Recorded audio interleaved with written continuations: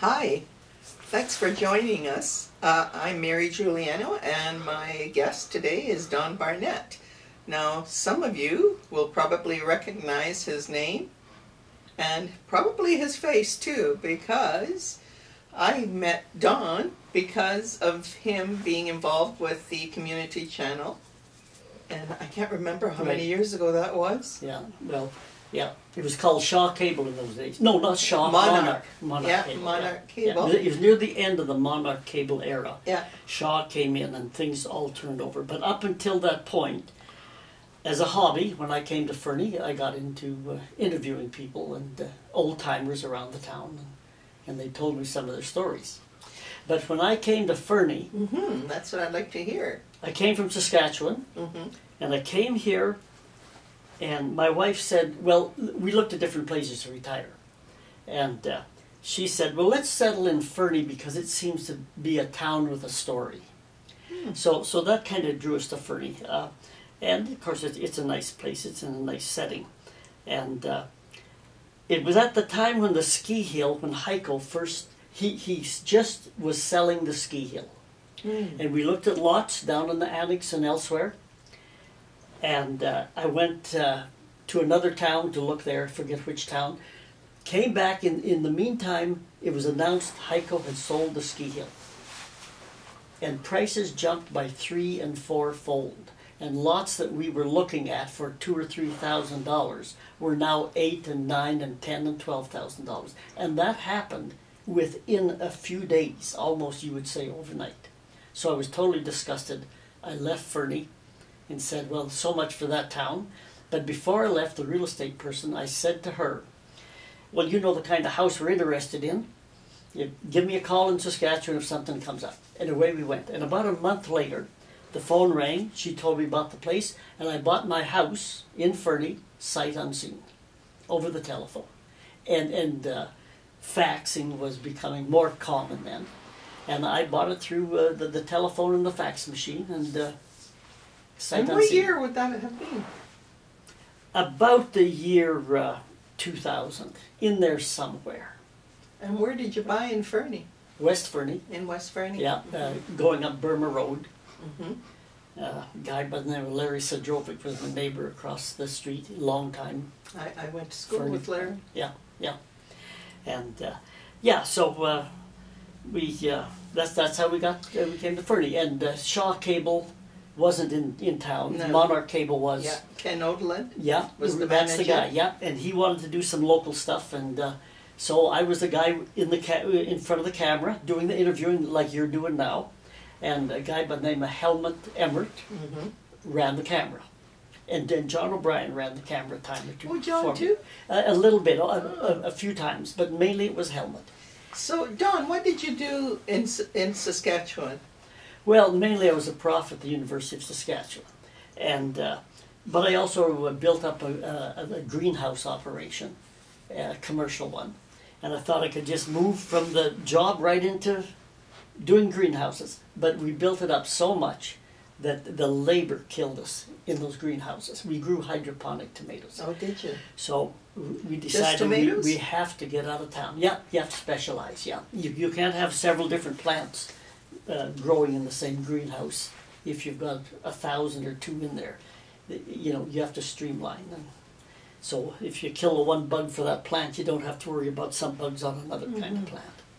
Yeah, but uh, we we came here and. Uh, uh, I can tell you a few stories of the people told me. Hey, I'd like to hear those. Let's, let's, but I want to yeah. ask about the house. The one that I came in to see you when I did a story on your wife's beautiful uh, teddy bears that yeah, she used right, to make. yeah. Did you not build that house?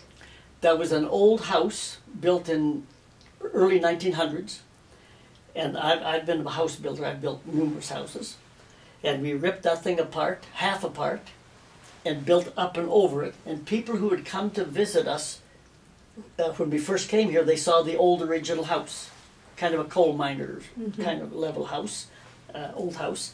Uh, some people, some of those people came back a year or two or three later, and they couldn't find our place. They drove by the street, they didn't recognize it because I completely built over it and up high, and built a, a big two-story modern type of house over the top of that. Yeah, it was a big house. And, and the taxes then were based on the original age of the original house. Well, you would know this. You're the mayor, and, and half the taxes, I think, were, were, was based on that. Well, you would you 1900 would have been paying taxes to the regional district, Right, which right. is like Yeah. a third of what the city of Fernie pays Right, anyway. Yeah, yeah. Of of all the houses that I built, and I built about ten or fifteen of them after I retired from Saskatchewan. Uh, I recognize the greatest net profit from this Fernie house because I bought it so cheap. You know, depends on what you pay in, initially. That'll determine your profit, and that's a prime example of that.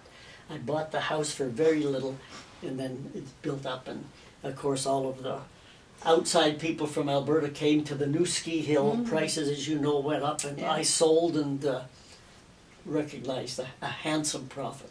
And is that the reason you left Fernie? Because we missed you. Well, I don't know. I can't remember why I left Fernie. I went to Kimberley, and now I live in Cranbrook, so I've moved around. And but I've always moved around and built houses, and uh, you know now I've got a, a houseboat in the Koocanusa. I've got a, a plaque there. It says "Home is where the anchor drops," and, and you know that, that that can be true to a great extent. Where were you born?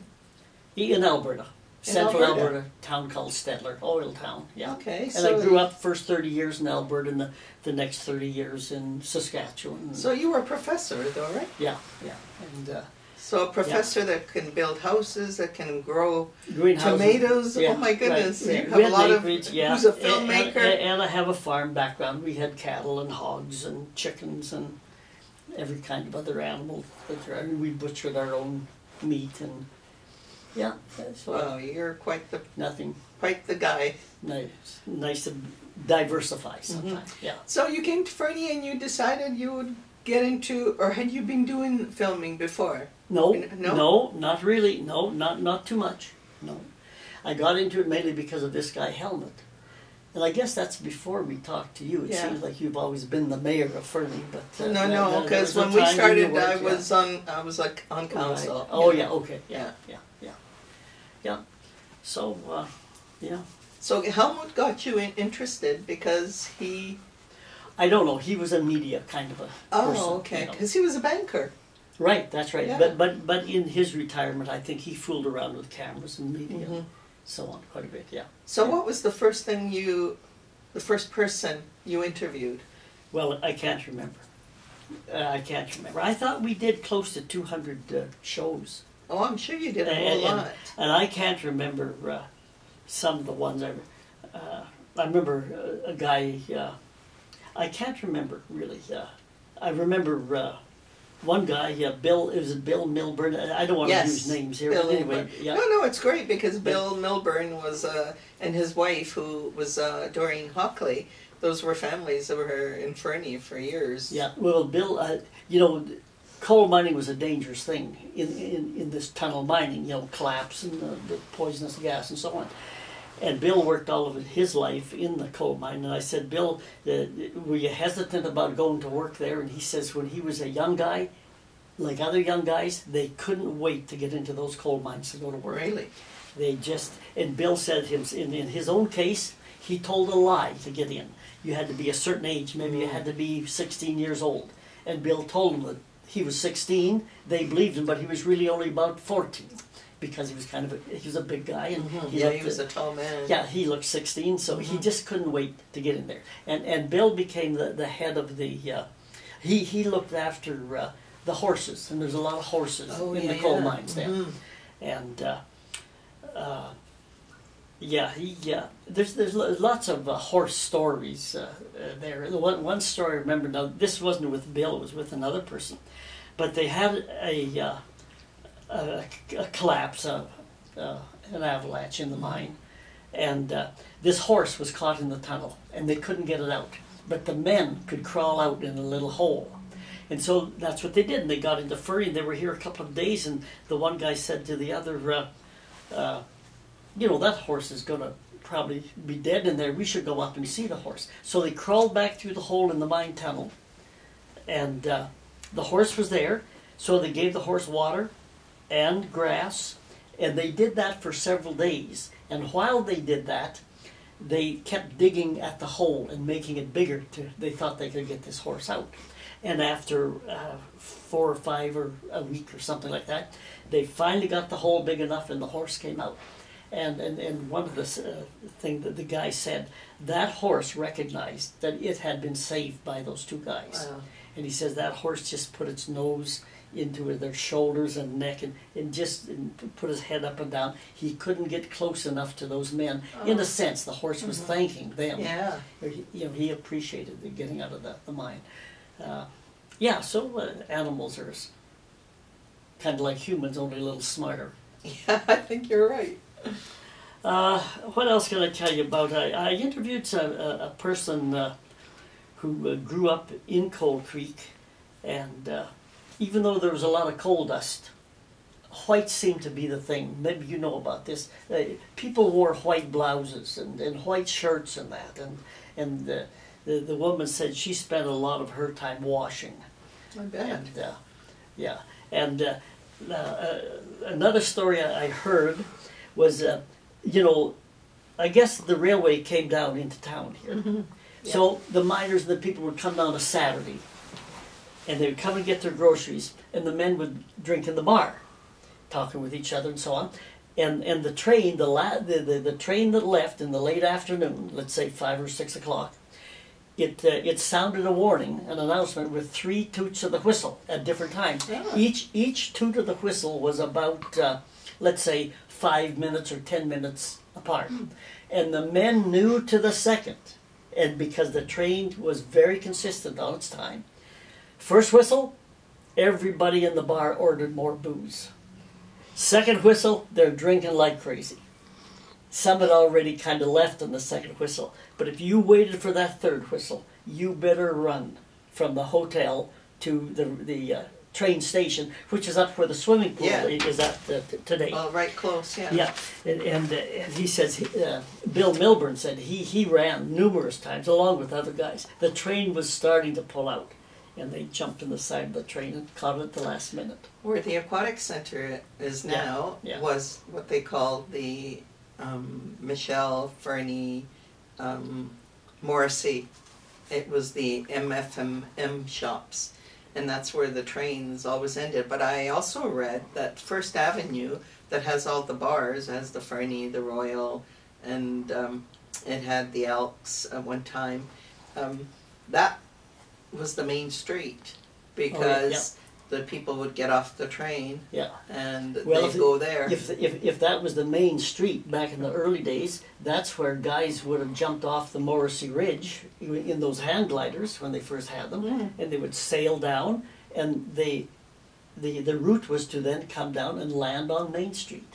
And they would come down and Mm-hmm. do a run, and, but that was right on the main street, which wouldn't be the main street today. You're saying it's a right, little it's different First place. Avenue was the main, the Yeah. one banking the Oh yeah, the yeah, the railroad. yeah. Mm-hmm. Yeah.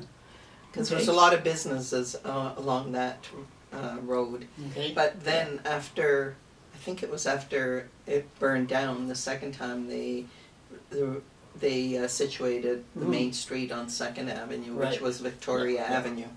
Well, on on on the uh, TV shows, we uh, did a lot of. Uh, uh, we're down to one minute here, so we may as well quit. Is that right? We don't Yeah. want Hi, we're back. So Don, Okay. I just you you said something about when you chose Fernie that your wife said. Do you want to repeat that about Fernie having a to. My story? wife said, Let, "Let's go to Fernie because it's a town with a story." So Yeah. When you came here and you'd been here for a while, did you find that to be true? Uh, Right, especially when I got talking to uh, older people on this TV programming. But it was good right from the beginning. I mean, I, I, uh, we, we saw a black bear right along the edge of town, and I just thought, you know, coming from the prairies, hadn't seen a lot of black bears in the wild, and I just thought, well, this is a good place to live if there's bears like that nearby.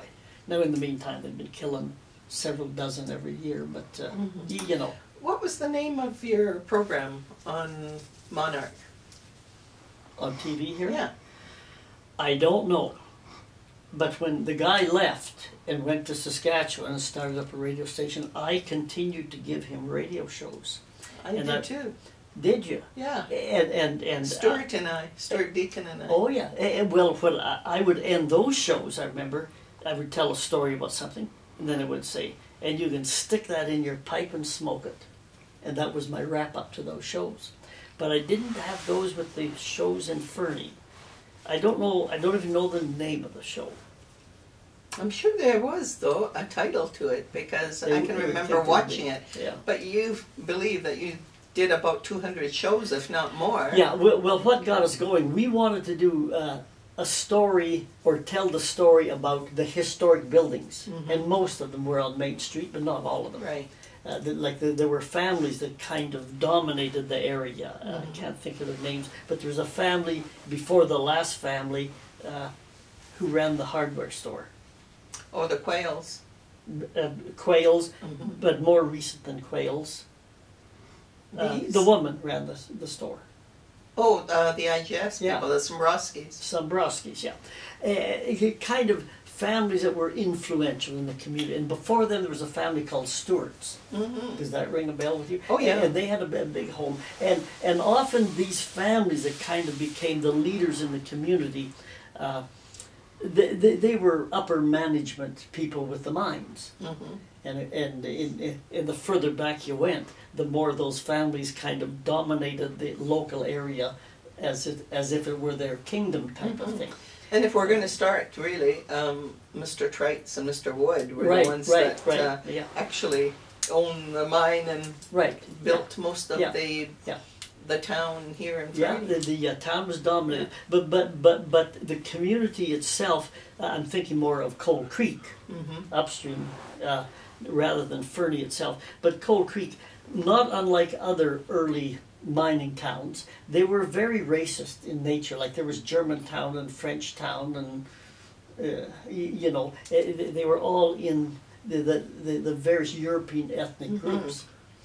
And uh, I can tell you a story about a, a woman Mm. uh, who had some trouble over that, that ethnic thing, or, or her husband did, because uh, she came to Fernie with her husband and, and got a job in the mine.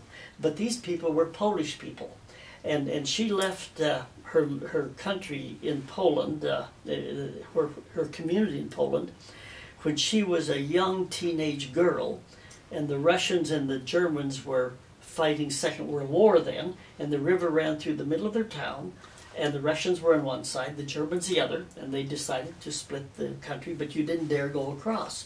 And of course, people had families on the other side of the river. So in the wintertime, uh, this girl decided we, she wanted to go over and see her aunt on the other side of the river. So she went at night and walked across the ice. Coming back home, uh, the Russians caught her and uh, put her into a cattle car and shipped her off to Siberia. And uh, she never saw her mother. I don't know if she ever saw her mother again, or maybe she saw, uh, you know, 20 years or 30 years later.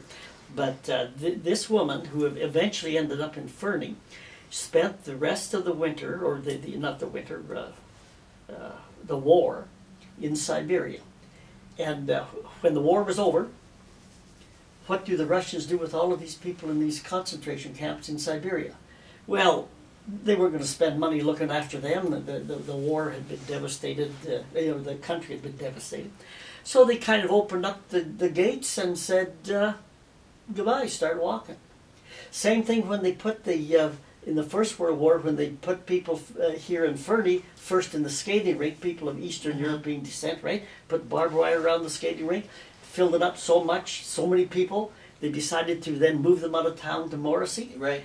And when the war was over, what did they do there? Same thing as, as this woman's experience in Siberia. What do we do with these people now? Gee, we're not fighting anymore. We'll just open up the gates. And in the case of, of the, the Fernie people here, those guys who had been rounded up in the mines, the Eastern Europeans, and put in the uh, concentration camp uh, in, in Morrissey, they walked back from Morrissey back into Fernie. This is a story I was told. And uh, they and the mine said, "Oh, hey, there's jobs here. We need workers." They went back to the same jobs. So, getting back to this woman, uh, they opened up the gates there in Siberia. She started walking, and she walked. She got a few short cart rides in two-wheel carts pulled by with oxen and horses, but by and large she walked from Siberia to the Middle East, and she came to either Baghdad or Tehran. Tehran's in Iran. Baghdad is don't even know the country it's in. Doesn't matter. But Baghdad, uh, I think she was there. She went into the hospital looking for a job, and they said, yes, you can uh, uh, work. And uh, in the hospital, she had some nursing in her background. And uh, so, anyway, from there, she went to England. She was a small woman, and she got uh, fueling the airplanes that were doing the final bombings in the war. And because her hands were small, she could reach into the small areas in the cockpit and so on of the planes and, and undo screws and been put wires in. And she did that job for a while. War was over. She and her husband that she had met in England, he was a Polish guy, came to Fernie. And he got a job working in the mine at Coal Creek. And now here's a Polish guy, the foreman a lot of uh, German people after the war also came here, mm-hmm. worked in the mines. Now these German guys are taking orders from this Polish guy. And they had trouble handling that. Okay. They were not going to take orders from any Pole. And so she, uh, this woman said that she had a lot of uh, trouble. Uh, another part of her story was, when I interviewed her, she said that she had been a, a, a singer, an entertainer before the war and she was uh, in the shower all of the time in, in the Middle East, in Baghdad. And some of the Allied troops, uh, the, the leaders there, said, Gee, you have a beautiful voice. Why don't you sing for the troops? So, the latter part of the war, before she went to England, she entertained the uh, troops. So I said to her in this uh, interview, I said, Well, can you still, still sing? She was in her 80s, late 80s then. And she said, I can sing. So she sang me a song on, on the TV show one in, first in Polish, and then she sang it in English. And the song was "My Bonnie Lies Over the Ocean," "My oh. Bonnie Lies Over the Sea," and and you could tell with her voice, even though she was in her mid eighties, she she had a voice. You know? That was an English song. Yeah, isn't it? Well, I don't know. Is it? Mm-hmm. Yeah, uh, yeah. So anyway, the, that was the background of that woman whose husband worked in the in the coal mine. And the thing about the coal mine uh, drew a lot of people from different walks of life, and uh, yeah, it sure was, did. Yeah, yeah, and uh, okay. So what else can I tell you about coal mine stories? That's about it. How about some stories about the snow and the blizzards? Yeah, that's part of Fernie. I, I tell you, we don't get snow like before, but I understand, and maybe you can remember this. But here's a story I've heard that in the wintertime, some winters, it was almost a town of tunnels the snow was piled so deep that you went from along the uh, tunnels that had you know snow piled up. I can tell side. you that I was raised on First Avenue uh, mostly because the sawmill was across the tracks, and okay. so my father didn't have a vehicle, and he had a job there, so he purchased a house on First Avenue, and I remember it being almost like tunnels uh, mm-hmm. going from the back of the house to the alleyway because coal and wood stoves you had to take the ashes out every day. Yeah. And even along the roads when you were out when we were walking to school, it, I mean, you, of course we were little, so but it, I'm sure it had to be the piles had to be up to 15 feet high. There was so much snow. Yeah, yeah. Uh, uh, a, a, guy told me that he, uh, in a big blizzard, he went to the curling rink, he was curling, and parked his car or truck in, in the parking lot and went in and curled, maybe started at four in the afternoon. They had supper there and they drank, and this guy was, uh, he, he, he knew how to drink and, and socialize. And they never got out of the curling rink until about midnight. And they came out and they couldn't find their cars in the parking lot. It's unbelievable the snow so that came snow. down. And all they saw was bumps and that. And, and there's no way you could shovel your way out uh, uh, any kind of a path to get your car out. He said some people's cars stayed in that parking lot until the spring. Now, he got his vehicle out because he was near the edge or something. But he said some of them stayed in the spring over one big snowfall.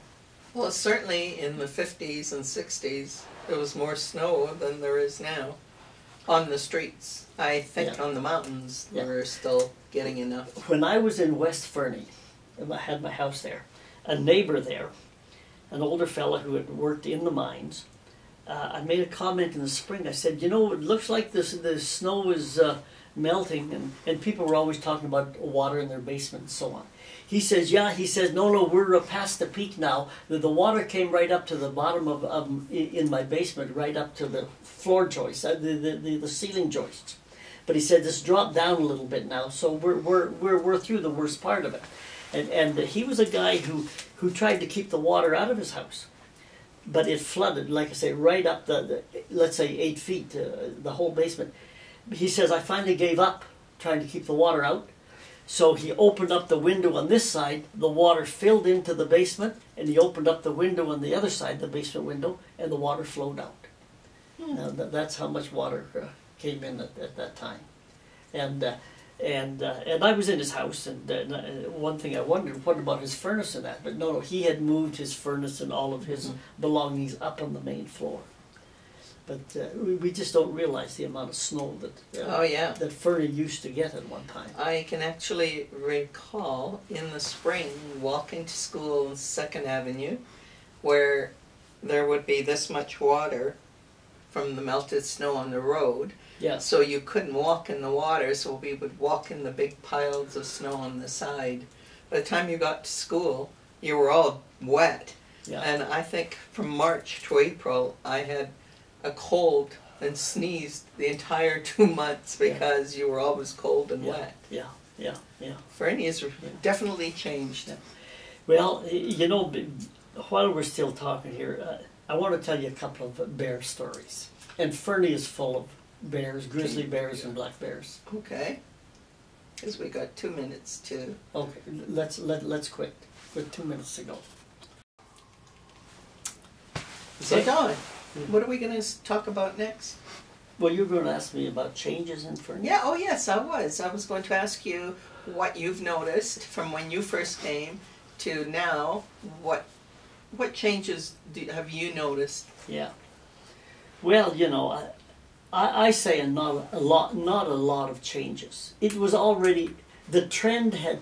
I was on the initial part of the trend of, of new people coming in, and and the the big money from Alberta with the oil boom there, and uh, uh, I, I know that uh, Fernie people, the long term people seem to be kind of swamped, whether they liked it or not, by this new money and new people. And I always say, uh, if if you're in Fernie, the local people ask you two questions. One, uh, where were you born and how long have you been here? And you better have long-term Fernie answers, or you were never, in their eyes, seen as really a, Fernieite. Uh, but but as the years went by, it it just so much money and new houses and uh, everybody got swamped. And uh, it's not that people complained about being swamped. I was one of the ones who, now that I lived in Fernie, I complained about all of the Albertans coming with their money. But I liked their money. But I didn't like them to stay around. you know, if they would come and visit and then leave their money and then go. I, I became more of a Fernieite. Uh, but uh, I, I was never one of the true original Fernieites. But, but, but so that's been a change. That that kind of attitude and, and perception about the community, eh, it's just been diluted and diluted and diluted, and that's the nature of change. Communities change, and, and, you, and you can't uh, uh, avoid that. Uh, no, I. Uh, but I, I don't know. Uh, you, you see the new buildings. Uh, Lots of new buildings. you uh, see the visible stuff. Yeah. And I've been away from Fernie, so I don't know how the, the, the people I know who have been long term people here, we've, we've kept a few contacts. Uh, I would say those people themselves have not changed that much. I mean, you don't change your personality That's just true. because new buildings and new vehicles and new houses come in. You uh, you uh, keep your same base. Uh, so uh, I'm not sure that uh, Fernie has just uh, it has been Fernie's been able to cope with the changes very well because there was money coming in. compared to a community, let's say that uh, I, I think for a while, in contrast, when I left Fernie, I went to Kimberley. Uh, I think Kimberley struggled more in, in in in the downturn times or in the change times because they didn't have any alternative. They just had a little ski hill there, but but uh, so it was maybe uh, who knows if it was harder or that, but uh, no, I I, uh, I I come back to Fernie all the time. We, we, you know, uh, I come back probably every other month to Fernie. So I've, I've I haven't seen great changes because I've kept contact with the place. But you know, you you did two hundred shows at least. Out of those two hundred shows, which you did of Fernie, an area, Mhm. um, there must have been an impact to you from from having interviewed so many people. Was there one besides Bill Milburn and his uh, talks that he did about Coal Creek? Were there any that you remember that you want to mention? The the other people. Yeah. Well, I, I, can't remember the, the names of people, uh, but but Grace Swelly wasn't that a Oh, Grace Dvorak. Dvorak? Yes. Yeah. She Uh, was I, uh, I remember considered. Fernie's poet. Yeah, right. Yeah, Yeah. yeah. And uh, I, I did an interview with a guy who lived at Hosmer, and at one time he was the uh, for the city of Fernie. He was their chief engineer. Oh, or, uh, Fred Lightfoot. that's the guy. Yeah. He told me the story about you know where the along the highway where the farmers market is held in the in the playground for the kids. That was a nice outdoor swimming pool at one time, and uh, it, it was kind of state of the art at the time in the area. And, It uh, was. uh, and I, and, but but when it closed up, uh, if I've got my decades right, he told me that uh, there was an economic downturn, and and a lot of uh, people were laid off in the mines I mean, uh, at the time, and there was talk about doing something with the old swimming pool and making the park that's there today. So there was a lot of uh, people unemployed, a lot of men. So uh, this guy Lightfoot said, "Okay, let's do this project. We've got some time now. We'll tear down the old swimming pool and uh, and, and, and make the new area, but we're going to have a rule. There's no machines to do it. No, no, uh, no machinery. O- only shovels. So the the workers that he had were uh, thought he was crazy." And they resented it and they kind of scoffed at. it. And this is about the dumbest thing that we're trying to do a major project here, and all of this, the tractors are sitting out there and the hydraulic equipment, and and we're doing it like we're in 1900. Just the dumbest thing in the world. But he said that that project took a summer or two or three to kind of get completed over time, and by the time the guys finished, they were near tears that it was over because they enjoyed it so much. It gave them employment, and that was his idea. If we have the machinery, we'll be done this thing in six months and uh, nothing to do. So let's spread it over time. So that was a story that he told me Hmm. on, on the building of that uh, uh, park there along the highway, which is kind of an interesting story. Where, where, where a guy I uh, hadn't heard that one before. gets gets people to go away from technology, uh, you know, just because the, the time is available. hmm He said, like he said, everybody was unemployed. Yeah, and uh, okay, where are we going from here? Well, you were going to talk about bears. Well, I only know a couple of bear stories, and, and Fernie is, is- I'm sure has a thousand bear stories, but a couple sort of stayed with me. Okay. Uh, I'll uh, I'll tell you the shorter one first. I know a guy. This is bicycle country, and the, the avid mountain bikers come and they go the trail, and this guy went biking, but he was aware of the bears. He lives in in Fernie, so he bought uh, bear aware, uh, the bear uh, bear, spray. He was equipped, one on each side of his belt. And he, he, he kind of looked forward, he says, meeting a bear, just Oh, to yeah. test this stuff out in real life. so he goes for a bike ride, and away he's biking, and he's looking down at the front wheel, and he hears a noise. And he looks up, and here's a bear, a grizzly bear, full speed. And they can run about the speed of a racehorse for a short distance. In no time, that bear was out. He just froze and panicked and fell to the ground, scraped himself up, bruised himself up, and uh, he's laying under his bike. And this bear comes right over the top of him, and he's frothing at the at the mouth and slobbering. And he says the smell of the bear was was just terrible. And, and the bear was kind of spitting on him. He thought he he was dead. He he said he felt kind of a paralysis just at his head when he It's first saw funny, the bear. but It- but it's, it is- it's, funny now. Yeah. He says he just felt paralysis over him as he lay under his bike and the bear over the top of him. He thought he was absolutely dead, no chance.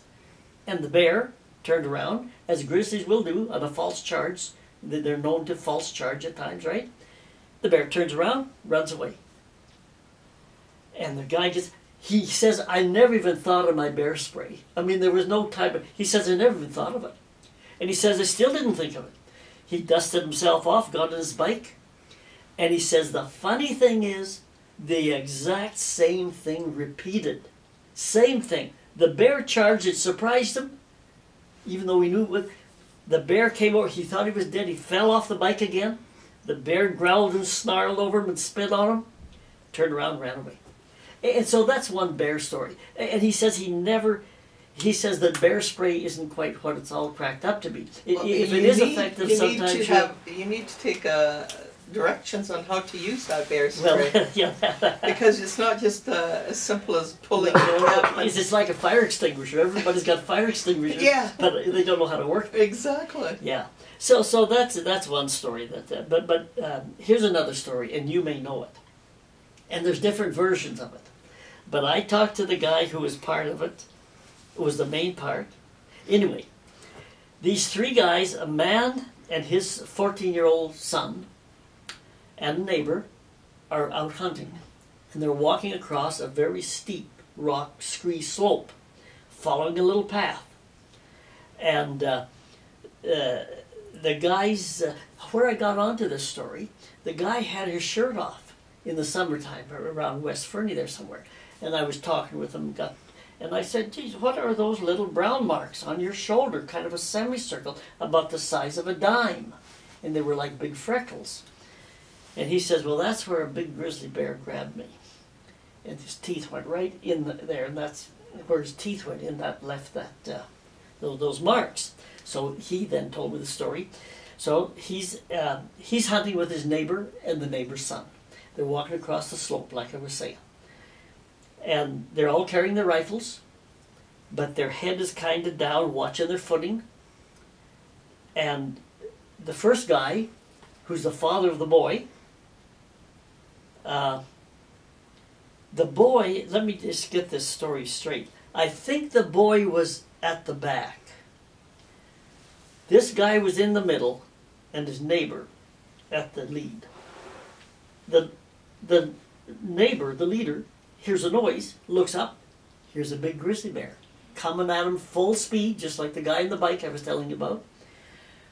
That guy had only time to throw himself down the steep slope, and he rolled and rolled into the grass, into some bushes, into the feet of three other grizzly bears. Oh golly, The- the I didn't expect that. the, the truth is stranger than, than fiction. He's at the feet of these grizzly bears. These bears are surprised, as he is. You know, he's bruised up a bit, and the bears sort of back up and they scamper and away they go. The big grizzly, on the trail that charged him, misses the first guy, but hits the second guy. The 14 year old boy is the third guy back in line. The, the, the boy is just frozen and does nothing. It just looks. Uh, and this big grizzly bear grabs this guy by his shoulder, and, and the boy said that bear shook him just like a, a cat shakes a mouse. And dropped the guy. The boy thought he was dead. The anyway, no, the bear makes a U-turn and runs back up over the little hill and disappears. So the, the guy was badly hurt. I guess. And uh, so they got him into Fernie here, and they all went out the next day, uh, some of the wildlife people, and uh, they tried to figure out what happened. Well, when they went on up the slope, they found the carcass of a elk or a, a deer, and the big grizzly bear who charged heard these people coming. They figured. So the bear said, "No, no, this is my meat. These guys are not going to get it." So he charged them. And as soon as, soon as the threat was away, the bear, he went galloping back up to guard his uh, his kill. Uh, the guy who, who who rolled down the slope, the, the guy first in line, he rolled down to the feet of these grizzly bears. Well, where that what that was, three younger bears were waiting their turn to get at the kill. And so they were kind of uh, hanging out in the bushes and waiting their turn to, to try to get some of this kill. And the guy rolled right down into the midst of them. Now, that's only part of the story. This story is, is told, and the uh, television and radio stations across Canada kind of picked it up. Interesting bear story. So uh, in Toronto, I think it was, or Montreal, I'm, I'm not sure which, can't remember, it doesn't matter. Uh, the uh, uh, television people said, We're going to send you three guys out there to Vancouver, and you get that story from BC and interview that guy. This is quite a story. It'll make big news. So they put the three guys in the plane. They fly to Vancouver. The guys get off the plane. They, they meet the, the uh, media people there, and they say, "Okay, let's let's go interview this guy." Well, it's going to take a few days. What do you mean a few days? Well, the guy's over in Fernie. Where's Fernie? Well, that's on the other side of the province near the Alberta border. How do we get there? They said we we haven't got time for this. We- We've got to get this story, but uh, we don't know what to do. We but travel by car. There was no air air flights in those days. Several days. It'd be a, there'd be a week, three days travel, or in the interview, and two or three days back. So they phoned uh, headquarters back in Toronto or Montreal, and the headquarter people said, "Look it, uh, get on the phone and interview that guy at the hospital, and then one of you take on the role of the guy who was attacked. Take on that Ah. guy's role, and get the cameras running, and we'll make the story that way." And that's So, what they did. Hang on right. And so we're going to continue with Yeah. the bear story. Yeah, just to end up this story, the guy who got mauled, when he told me that story, uh, he got into it a little ways, and when he started to talk about uh, media people from Eastern Canada taking his identity and pretending that they're him and telling the bear story, and he just couldn't tolerate that. He, he just he just had to swear away. And he was Well, I so don't dis- blame him. He was so disgusted. Yeah. They would call that fake news today. Yeah, fake news. Yeah, yeah. And uh, so uh, I, I, I want to tell you a story about uh, the Koocanusa. Uh, I know a guy from Fernie who uh, drove Caterpillar and tractor and, and that kind of thing, and uh, uh, he. Uh, it- it- as you know, when they built the dam, it flooded people out, and there was a lot of Oh, hard yeah. feelings uh, by the people, the ranchers, There's and that still there people that have never still, gotten over still, it. Yeah. You, you, you bet. And uh, but but this guy was driving a bulldozer, and he uh, got a job uh, to clear out some of the, the, the brush and that along the, the Kootenai River, which is the Lake Koocanusa today. And uh, there was a fence line there, and of course, people, some of the ranchers were quite upset, like you say. And there was a fence line there, and this guy drives his bulldozer up there, and the truck is waiting for him, a half ton truck, and the guy gets out of it, the rancher, and he says, If you drive that bulldozer across that fence, I'm telling you, I don't care what happens to me, I'll go to jail, but I'm going to kill you. Oh. And he had his rifle. Well, the guy said, This is just a, a job I've got, so he kind of waited, and he phoned or contacted the, his boss, who was a guy from Calgary or Ottawa or Vancouver, I don't know.